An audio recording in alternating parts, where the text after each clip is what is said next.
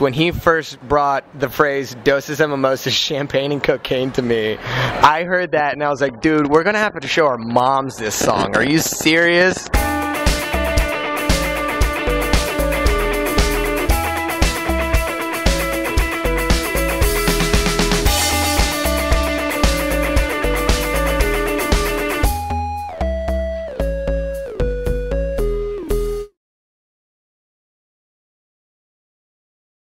With that being said, it's not my most favorite lyric that I've ever written, but hearing my parents sing that song is the most entertaining thing to me.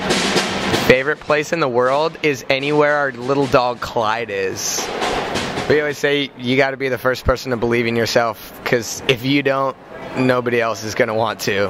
Man, music music today is really inspiring to me just because all the the doors and boundaries have been completely broken down. You know, things like the internet and new technology have just really opened the doors to whatever ideas anybody has up here, you know? So it's like creativity is no longer limited. There are no real gatekeepers. Every everybody has access to everybody else. So it's it's really awesome being in you know the music industry and music scene right now just because there's no rules. The more music is progressing, the less people are worried about genre, and that's really important, I think, because it allows musicians just to focus on making music rather than a, a particular sound, and that leaves a really wide open space for just anything to happen. If I could own like six acres of land and I could build a commune that we all just kind of like lived and survived together and lived off the land and turned cherub into like cherub strawberries,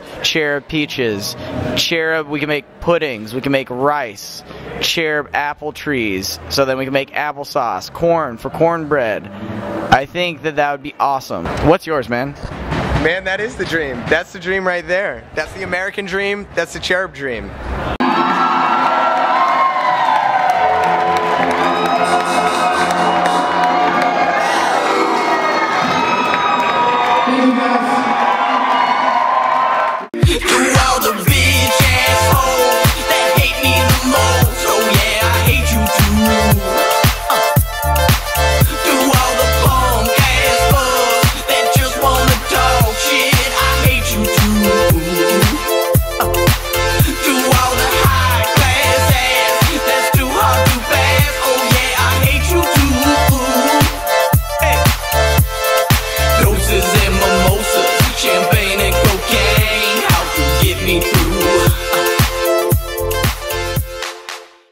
Uh, hey, are you into long distance relationships or?